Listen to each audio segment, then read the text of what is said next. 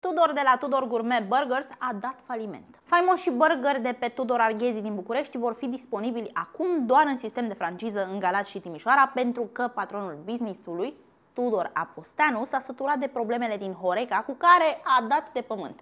Îmi pare rău, dar nu vă mai pot arăta locația pe interior pentru că e ca și cum v-aș invita la mine acasă pe nepusă masa. Și pe bună dreptate am putea zice, fiindcă i-a rezistat afacerea vreo 10 ani de zile în care s-a tot luptat cu toate problemele sistemului. Lumea își deschide un business, mai ales în Horeca. Uite, cum am deschis eu Tudor Gourmet Burgers în 2015. În primul rând, locația din București nu și-a atins așteptările și nici nu s-a înțeles prea bine nici cu partenerul de business. Tot ceea ce mâncați în locațiile mele din România sunt create de mine. Apoi au mai fost și taxele care s-au tot mărit, mâna de lucru foarte proastă. Deci m-am speriat de atâta muncă. Eram transpirat pe aici, pe spate, tot.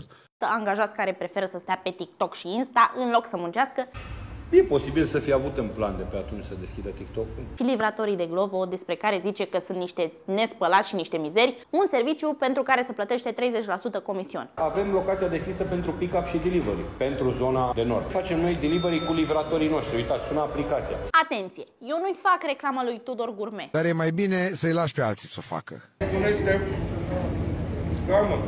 Nu e vreun parteneriat plătit, nu e nimic de genul ăsta. Dar mie mi se pare interesant pentru că e un om care a avut un business pe piață timp de 10 ani de zile, pe care a încercat să-l dezvolte și care dă niște insight-uri destul de interesante despre zona asta, plus niște sfaturi din propria lui experiență. Secretul nu e să-ți deschizi acum o locație mare în care să servești paste, de exemplu, Că tot am văzut o grămadă de pantofari care v-ați făcut restaurante. ci să mergi pe ceva cât mai nișat, cât mai mic. Deoarece pentru a crește un business trebuie să muncești ani de zile. Pentru că sunt chiriile foarte mari, serviciile conexe nu sunt foarte bune și sunt scumpe, iar clasa restaurantelor de mijloc va dispărea cam în 5 ani. Este la doar prețul de 1000 do... Hai să nu batem că.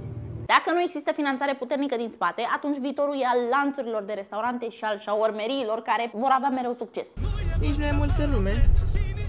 Nu e multă lume.